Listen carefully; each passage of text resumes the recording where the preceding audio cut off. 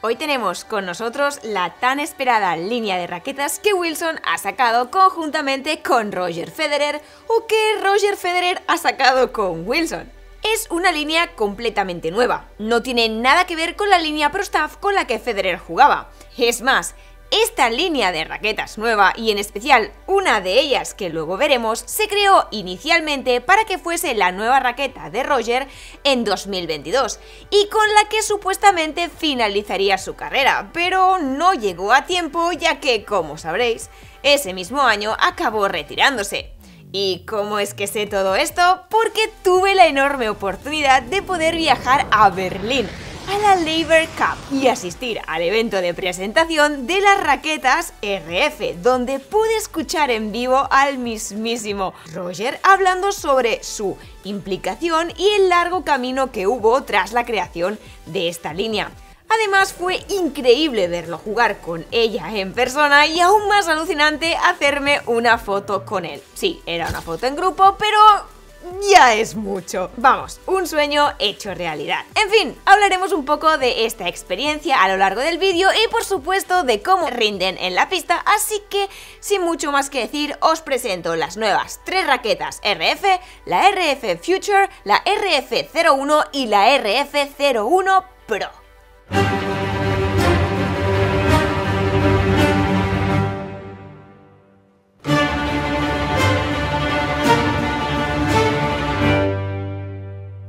Antes de continuar, quiero dar las gracias a Tennis Warehouse por mandarme las raquetas y, pues como ya sabéis, si tras ver el vídeo consideráis que puede ser para vosotros, os dejo un código de descuento SARANOC10 para que, canjeándolo en la web, podáis tener un 10% de descuento. Y bueno, ya sabéis que usando estos códigos y los links de afiliados que tengo en la cajita, pues al final supone un gran apoyo para el canal y lo agradezco un montón. Comencemos hablando del diseño y en específico del color. Es un color clásico, elegante y tradicional, muy al estilo de Roger. De hecho, recuerda un poco a su Pro Staff negra. Pero aquí destaca este degradado que va del negro antracita en la parte más de abajo hasta un gris plateado en la punta, lo que luce genial y además tiene un significado especial que él mismo nos explicó en el evento. Y es que una de las cosas que más le gustan a Roger en el tenis es el swing a la hora de hacer un golpe, por lo que con este degradado lo que buscaba era resaltar su belleza, haciendo que pareciera ¿no? un haz de luz cada vez que impacta. La verdad que el concepto está chulo. Luego, en cuanto a los detalles del diseño, destacan las dos líneas a cada lado de la garganta, que al final rinden homenaje a sus dos pares de gemelos pero que también, como muchos sabréis, es un clásico en la línea Pro Staff. También podemos encontrar el logo de Roger Federer en varios lugares, pero donde me parece que luce espectacular es en el tapón de la raqueta. Eso sí, solo uno de los tres modelos, el RF01 Pro, tiene el grip de cuero real. Los demás usan uno sintético que tiene apariencia de cuero. Y lo último que quiero destacar en cuanto a su diseño es el cambio en la forma del marco versus la línea ProStaff. Fijaros que en la ProStaff el marco es algo más rectangular, como más plano, mientras que en estas nuevas RF tienen un marco de forma elíptica. En conclusión, me parece un diseño de raqueta minimalista, elegante y con la clase de Roger. Dicho esto, veamos sus especificaciones. Las tres tienen un tamaño de cabeza 98, un patrón de encordado 16 x 19 y un grosor de marco que varía desde los 23,2 milímetros en la parte superior, bajando a 23 milímetros la parte más céntrica y terminando en 22 milímetros en el cuello.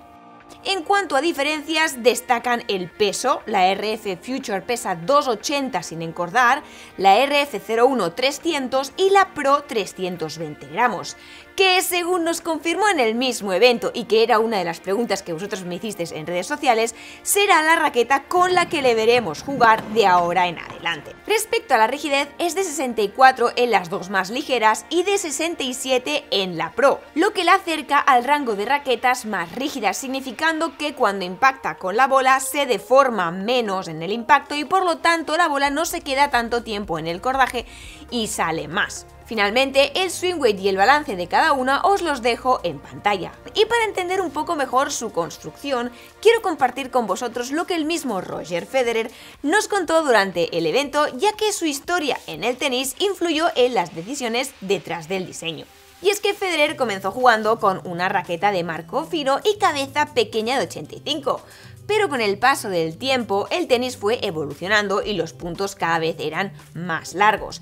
Eso, sumado a sus lesiones, pues hizo que con los años tuviera que adaptarse incrementando el tamaño de la cabeza que estaba usando, pasando de la 85 a la 90 y finalmente a la 97 en 2014. Ahora bien, en 2022, tras la lesión de la rodilla, él consideró evolucionar la raqueta hacia una más ligera, ya que siempre había utilizado modelos bastante pesados, cuya forma se pudiese mover rápido en el aire para obtener un poco más de efecto, velocidad y potencia fácil para poder así pues hacer ángulos más cortos, alguna ayudita en sus passing shots y al final mejorar un poco también su defensa.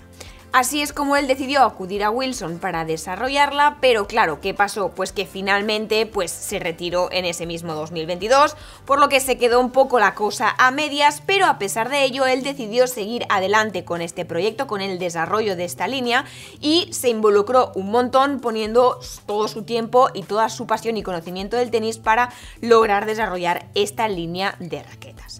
Y ahora que ya sabemos un poquito más la historia y el contexto en el que se desarrolló, hablemos de cómo juega, que al final es algo que a todos nos interesa saber. Y algo que os diré es que es una raqueta que tiene mucha personalidad y el encordado va a hacer mucho en que la sientáis de una forma u otra. Y dicho esto, empecemos hablando de sensaciones, que realmente son buenas. Han mezclado lo tradicional o clásico de una Pro Staff con algo más moderno el punto dulce está extremadamente bien definido cuando impactas a la bola. Es que se siente muy nítido, orgánico, como directo, ¿no? Muy natural, ¿no? Sin esa sensación de que haya mucha tecnología actuando de por medio. Y es que realmente apenas le han puesto tecnología a esta línea de raquetas para tratar de hacerla como más receptiva, con más conexión. Sin embargo, hay una cosa que sí tiene y es el relleno de espuma. Las raquetas que están rellenas de espuma son muy comunes en el circuito profesional porque logran amortiguar esas vibraciones o esas sensaciones negativas permitiendo que esa sensación positiva del golpeo se transmita a tu mano cuando haces un buen contacto. Importante. De forma que tienes una conexión ultra sensible con la pelota y sabes en todo momento cuándo estás impactando bien y cuándo no. Obviamente sí que se siente un poco más amortiguada que la Pro Staff, pero no de una manera que afecte negativamente a las sensaciones cuando juegas con ella.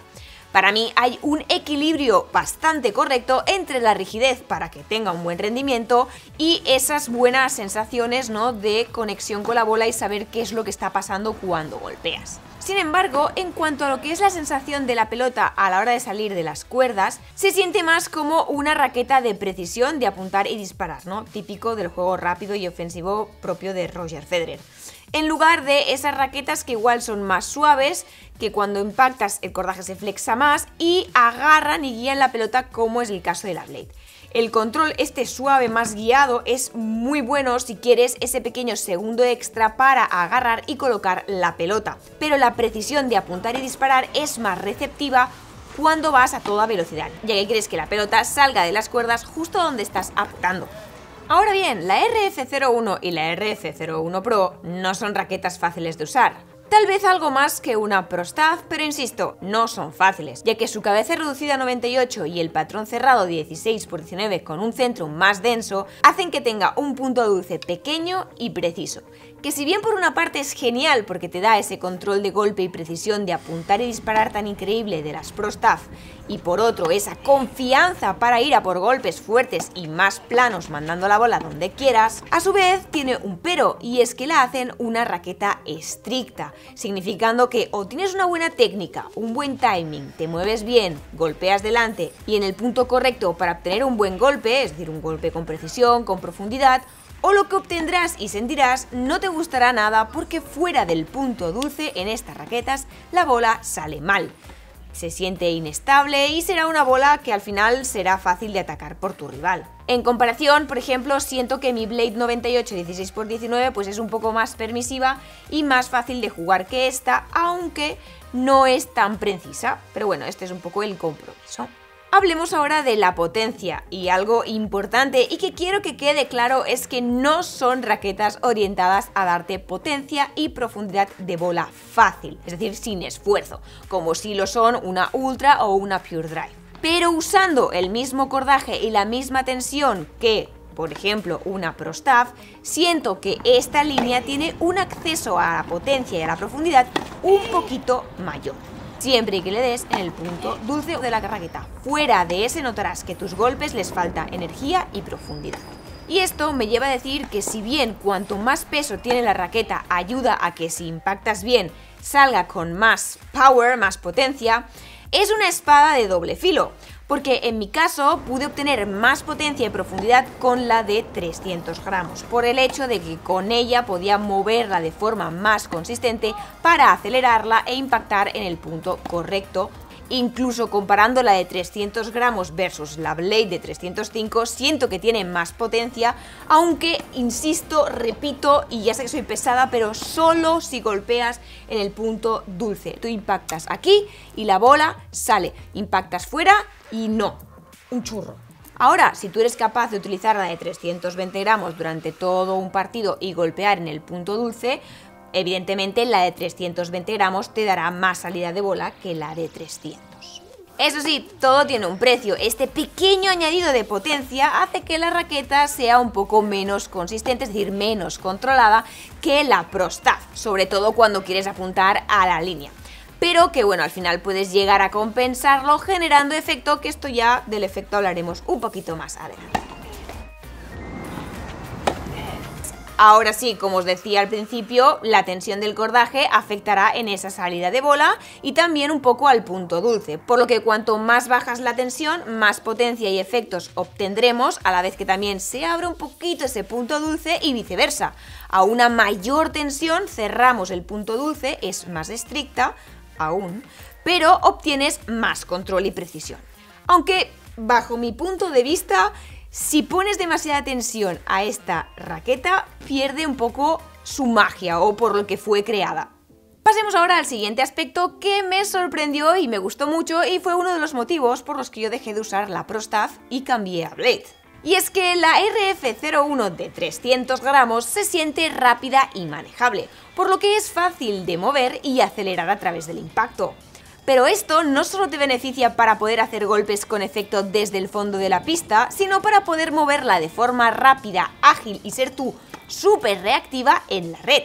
Creo que este diseño más redondeado, más ovalado del marco en comparación con el tradicional y más plano o cuadrado de la Pro realmente han influido y facilitado el poder balancearla más rápido para hacer el swing, lo cual es un gran punto positivo para su jugabilidad en general. Esto que estoy diciendo también aplica al modelo Pro, pero cuando empecé a estar más cansada, ya me costaba más moverla y la sentía más lenta, provocando que el impacto ya no fuera correcto y empezara a fallar muchas más bolas. Y a ver, siendo realistas, por mucha ilusión que me haga jugar con la de Federer, no es un peso que yo pueda manejar durante un largo entreno y menos un partido.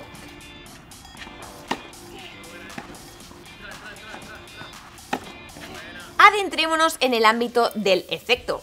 Si bien considero que el efecto no es la característica más destacada de esta línea, sí es un área que si la comparas con la Pro Staff, es más fácil acelerar la cabeza de la raqueta por el aire, permitiendo generar un poco más de efecto, sobre todo en golpes cruzados para abrir ángulos, golpes de fondo para empujar al rival hacia atrás y también para salvar esas bolas bajas y cortadas.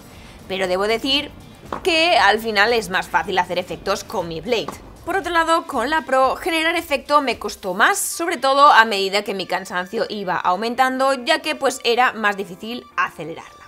Pero bueno, a pesar de que esta línea RF te ayuda un poco más con el efecto en comparación con la Pro Staff, considero que sigue siendo una raqueta que brilla más para jugadores que efectúen golpes planos, agresivos, atravesando la bola con pasión, porque honestamente yo disfruté mucho golpeando un revés plano, incluso haciendo golpes de approach agresivos a media pista con bolas más altas.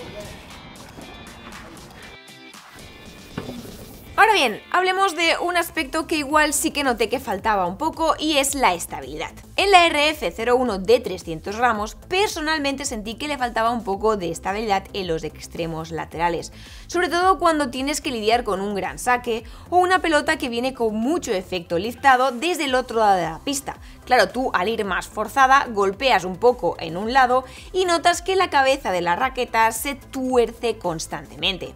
Ahora bien, si tú tienes tiempo de preparar ese golpe, como cuando recibes una bola más lenta o una bola corta que te permite adelantarte, pues claro, pues ya con más tiempo impactas bien, empatas en el punto dulce y todo está bien. Es más, considero, como he mencionado antes, que en estas situaciones la raqueta es bastante confiable para atacar.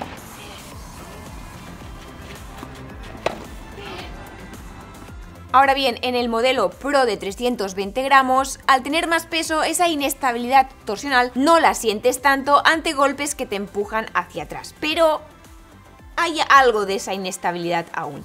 Y lo que creo después de haberlo pensado que ha generado esto, esta inestabilidad, es que fijaros que en la línea RF ya no vemos estas protuberancias que tenían las ProStaff a los dos lados, ¿no? A las 3 y a las 9, que es lo que se conocía como el sistema PWS, que al final lo que hacía era agregar un poco de peso a estas dos partes para darte un poco más de estabilidad. Pero al final es un tema de compromiso, sacrificas un poco esa estabilidad torsional y que el punto dulce sea aún más estricto a cambio de que pueda ser algo más manejable y rápida en el aire. Si fuera más estable, a los lados igual el punto dulce se expandiría un poquito más como en la ProStaff, pero sería menos manejable y menos rápida en el aire. Hablemos ahora de las voleas, y es que volear con ella ha sido una auténtica gozada. Es manejable, rápida, me permitió ser muy reactiva, pero a su vez tiene suficiente peso para absorber y redireccionar el ritmo de forma eficiente. También te da mucho control, por lo que puedes colocar bien la bola llevándola hacia adelante, gozando de volear con tacto, precisión y buena profundidad. En cuanto al saque, la raqueta se siente sólida. No es excelente en ningún tipo de saque en particular, pero en general es bastante buena. Los saques planos hacia la T se pueden hacer sin problemas y los saques con efecto me funcionaron mejor con la RF01, es decir, la de 300 gramos, que con la de 320, porque con la más pesada a veces no podía acelerar bien los saques con efecto y mi rival acababa acribillándome en esos segundos saques. Ahora, seguro que muchos estáis preguntando qué pasa con la RF01 Future, la raqueta que tiene menos peso.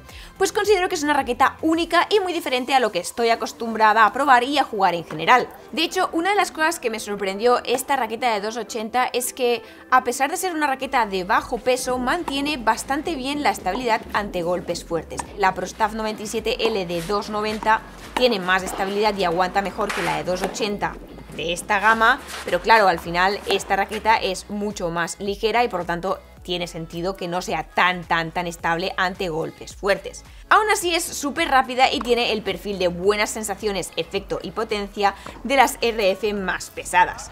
Además, creo que la idea detrás de esta raqueta es que está dirigida a juniors, probablemente entre 10 y 15 años, para que puedan experimentar lo que una sensación tradicional de raqueta puede llegar a darte. Algo que las raquetas más grandes de 100 pulgadas y de estilo twinner no pueden llegar a hacer.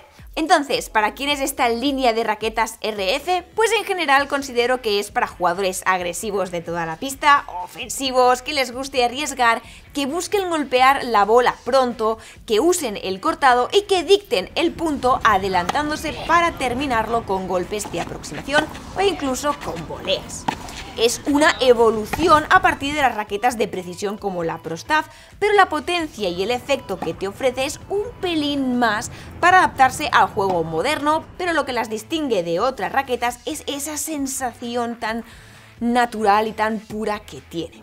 Considero que es más versátil que la ProStaff 97, pero no es tan versátil como una Blade. De hecho, el verdadero inconveniente de esta línea RF es que no siento que tenga muy buen potencial defensivo para jugar con más efecto desde el fondo de la pista realmente es que tienes que aplicar conscientemente mucha rosca, especialmente si estás en el fondo de la pista, o no vas a sentir que puedes defender bien. Y entre la RF01 y la RF01 Pro, la de 300 gramos, creo que ofrece un poco más de margen en prácticamente todo. Creo que esta es buena para un nivel intermedio avanzado y el modelo más pesado sí que necesita ser un jugador avanzado para sacarle el máximo partido. Por lo que, en conclusión, sí, es una raqueta bastante diferente a la Pro Staff, pero tampoco completamente diferente. Si sois esos jugadores que os gusta esa mezcla entre lo moderno y lo clásico, con ese punto dulce más pequeño y definido, os animo a que la probéis. Eso sí, daros un tiempo y configurarla bien para poder sacarle el máximo provecho.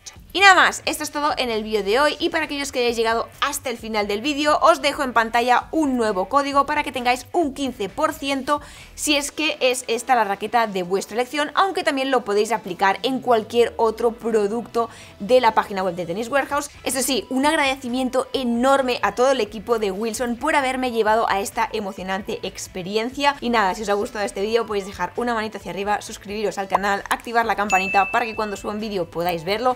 No os olvidéis de seguirme en mis redes sociales arroba saranogark y nos vemos, como siempre, en el próximo vídeo.